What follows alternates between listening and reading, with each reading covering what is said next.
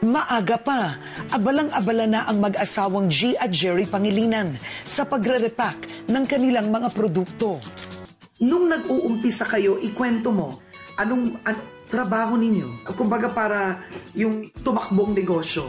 Dati po kasi kung matulog din kami, pag nung hindi pa kami nag-ninegosyo ganito, mga 8 o'clock natutulog na kami. Ngayon po, pag may sarili ka palang negosyo, parang yung oras mo, halos 20 hours kang gising, 4 hours ka na lang natutulog. Siyempre, ang isipin mo, anong pwede na namang produkto mo ang ilabas para mauna ka sa market. Ito ang negosyong magkahawak kamay nilang binuo, ang Skin Magical. Ang business na tila may mahika dahil si Jerry hindi na kailangang mag-OFW pa. Gaano kayo kahirap noon at paano nagbago ang buhay niyo ngayon? Sa akin po, nung bago ako umalis, may utang na ako talaga kasi nanganak po siya. Halos one month pa lang yung baby namin nung umalis ako. Then napakahirap nung malayo ka, iniisip mo yung bata, paano siya lalaki. So, lakasan lang po ng loob din na mag-OFW. Lalo na sa amin, ang communication po namin is one to two times lang a month. 2003 nang unang sumampa si Jerry sa barko. Bitbit ang magandang pangarap para sa kanyang mag-ina. Hindi man madali ang buhay LDR o long distance relationship. Tiniis nila ito para sa kinabukasan ng kanilang pamilya. Naging trabaho ko doon, tik-tik kalawang. Talagang ano eh, ah, sakripisyo. Ang lagi ko lang iniisip, para sa kanila to, hanggang sa kung ano yung ginagawa ko, parang iniisip ko na lang na nakikita ko doon yung mukha ng pamilya ko. Ganun. Para makatulong sa mister, nag-isip rin si G ng paraan para tumulong sa mga gastusin. Bumibili lang ako sa Divisoria pang benta ng mga baby products. Umaangkat ako sa China. Binebenta ko lang po online. Tapos nagbenta din po ako ng gadget. Eh, So, pa- abilidad ka na, misis. naghahanap po ako ng mga ibebenta. Kaso parang ganun lang. Ikot lang din ang ikot. Parang hindi siya yung para sa akin, hindi fit. Tapos pagdadating nga siya, wala uling pera. Parang nagka, na- as in, nagkakautang-utang ako. Sampung taon naging seaman si Jerry. Sa sampung taong yun, ramdam niyang marami siyang na-miss sa buhay ng kanyang asawa at lumalaking anak. Merong one year, merong eight months. Pag uwi, masaya kasi may konting ipon. Ang malungkot doon, parang hindi na ako kilala ng anak ko. Ah, malayo yung loob sa akin. na after two months, alis ulit. Ganon. Rotation na ng buhay namin ng ganon eh. Napagtanto ni Jerry na hindi gumiginhawa ang buhay nila kahit seaman siya. At ang pinakamasakit sa lahat, hindi sila magkasamang mag-asawa kapag may mga pagsubok. Na-aksidente ako sa barko. So, nahulog ako. Hanggat maaari, kinausap ko yung mga kasamahan ko na huwag nyo na iparating kasi buntis siya dun sa pangalawang baby namin. So, ang nangyari ito, ayun, nung malapit na ako umuwi, sinabi na nung kasamahan ko na gano'n niya yung nangyari. Then, mahirap. Medyo napaisip ako na hanggang dito na lang ba ako? O meron pa akong ibang pwedeng gawin? Maging si G ay naging matiisin para hindi na makadagdag pa sa mga inaalala ni Jerry. Mas lalong sinipagan ni G ang kanyang online selling hanggang sa sinwerte siya sa pagbibenta ng beauty products noong 2013. Sa lakas ng kita, napagdesisyonan ni Jerry na umuwi na at tumulong sa business ni Mrs. Nung una nga po kasi, nagbebenta ako ng other brand. Ngayon po, yung friend ko na may toll manufacturer, nag-offer po siya na pag-formulate niya ako ng sarili kong brand. Parang mag-isip daw po ako ng brand name, then ipaggagawa niya ako ng sarili kong soap, lotion, toner. Doon po nag-start yon. Pero hindi ka ba natakot noon? Kumbaga, iba ang magbenta, iba yung gumawa ng sariling brand. Hindi naman po. So, nung time na yon, nag-isip na rin po kami ng formula na pwede naming i-suggest sa kanila. Pwede po ba itong gawin? So, yun, malaking tulong po yung naging kaibigan namin na may ano, pagawaan. Sa puhunang 7,000 piso, naglakas loob si G at Jerry na simulan ang Skin Magical. Ano ang unang sabon na finormulate ninyo? Yung pong rejuvenating soap. Ito po yung naging... Yung Parang ito, ito, ito ang nakaahon sa inyo sa kahirapan. Yes po. Ito po yung una naming soap nung nag-start kami ng Skin Magical. Dati po nakakabenta lang kami nito ng mga um, 1,000 pieces. Oo, sa isang araw? sa hindi po, sa loob po ng one week. Okay. Pero po ngayon, as in, libo-libo na po. Wow! One, nasa 100,000 in a month Oh my ang God! nasisell namin. 100,000 papaya soaps Yes po. in a month ang nabebenta nyo na. So, isipin mo mula sa OFW, lubog sa utang, eto kayo ngayon, naiahon kayo sa kahirapan netong rejuvenating papaya soap ninyo. But ano bang laman nito at dito kayo kumbaga yumaman, umasenso? Benefits po kasi ng rejuvenating soap na to is peeling, then whitening and moisturizing. Oo. Ang Pilipino po talaga ngayon is napamahirap man o mayaman, nahihilig talagang magpaputi ng skin. Oo. Pero saan mo nakuha yung abilidad na ito sa negosyo? Kasi maraming Pilipino takot, isipin ako, pag sinimulan ko yan, di ko mabebenta.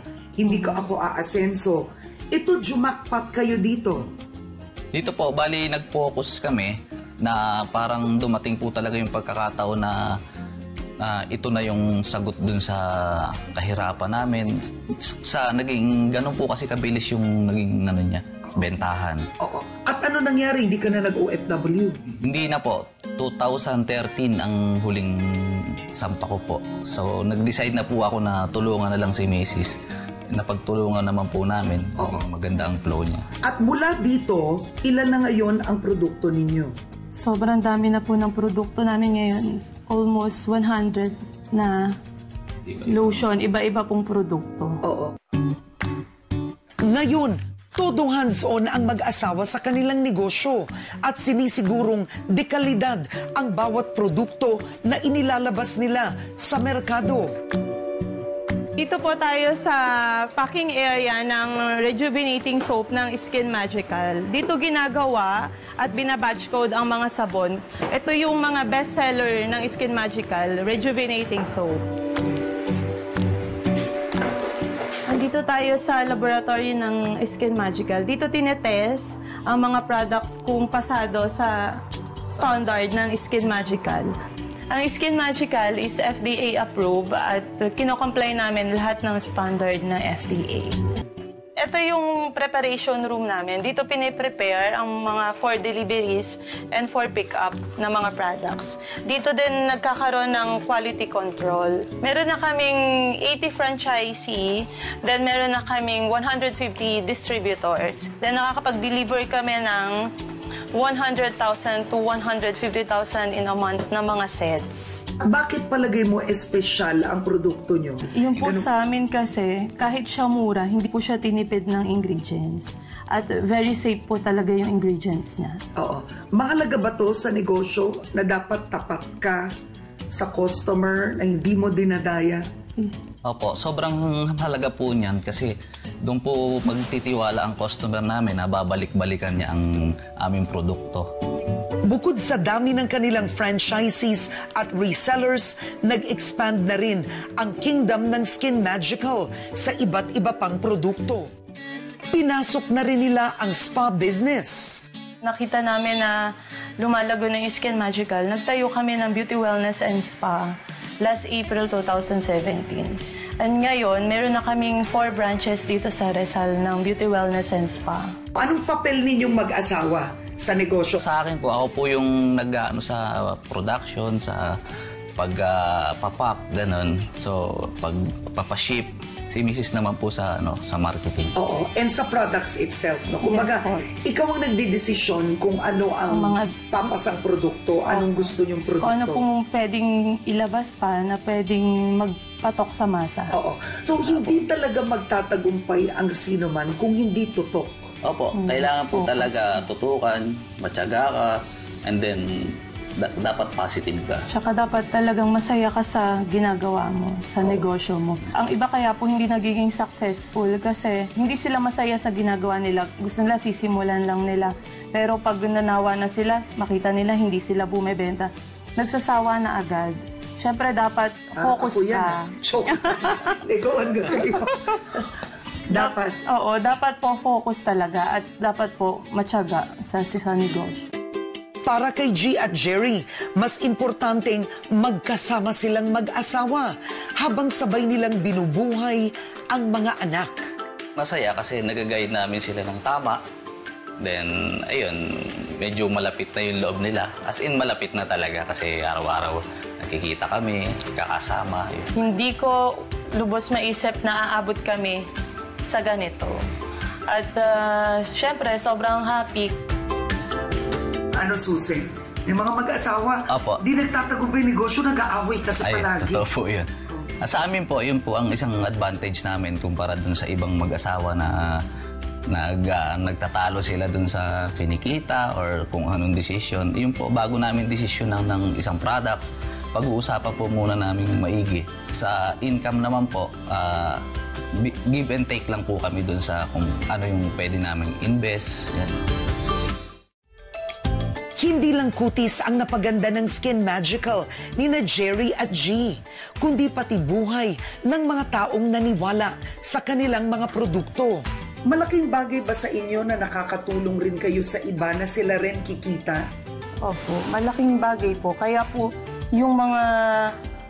May mga resellers din po kami, open din po kami for resellers. Binibigay po namin siya sa mga franchisee and distributor. Yung po mga franchisee, binibigay na po namin sa kanila yung mga nag invest ng mas maliit para pare-pareho po silang kumit.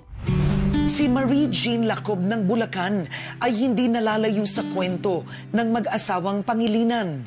OFW rin ang asawa niya at gusto niyang gumawa ng paraan para kumita ng extra. Iba't ibang produkto ang binenta niya online bilang sideline hanggang nadiskubre niya ang Skin Magical Products. Ito kasing product ng Skin Magical, ano siya eh, napatunayan ko na mas effective siya sa ibang brand tsaka affordable. Ngayon kasi nakabili kami ng sasakyan dahil sa Skin Magical. Naghati kami ng husband ko, yung kalahati nun is galing sa Skin Magical. Kinita ko sa Skin Magical. Tapos mayroon na akong dalawang branch ng Skin Magical dito sa Bulacan. Naganap rin ng fulfillment sa negosyo ang housewife na si Ira Belonio mula naman sa Capiz. Ngayon, siya na ang binibilang fairy godmother ng mga gustong magpa-beauty sa Capiz. As in, overwhelmed kasi from sa isang kisap mata lang, naging kilala ako sa hindi lang sa province of Capiz, Region 6. Franchise ako ng Skin Magical. Tutulungan ko ang parents ko. At the same time, napagtapos ko po yung sister ko, nakapagpatayo po kami ng bahay. Na magic din ang kita ni Amanda Martinez ng Pampanga para sa kanyang pamilya. Electronic technician ang asawa ni Amanda habang siya'y isang online seller. Pero hindi sapat ang kanilang kinikita para sa tatlong lumalaking anak. Gamit ang kanyang ipon mula sa pagbibenta noon ng damit, naglakas loob si Amanda na maging distributor sa Pampanga. After one year and two months pa lang, nakabili na po ako ng lote.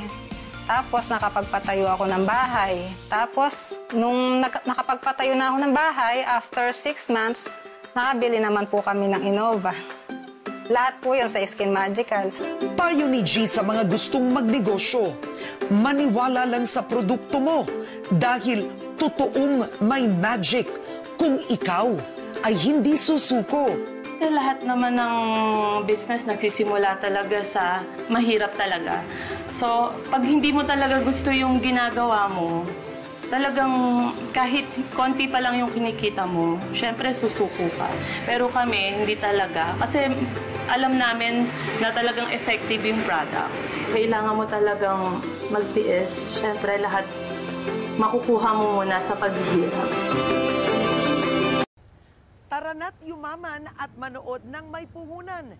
Mag-subscribe po kayo sa YouTube channel.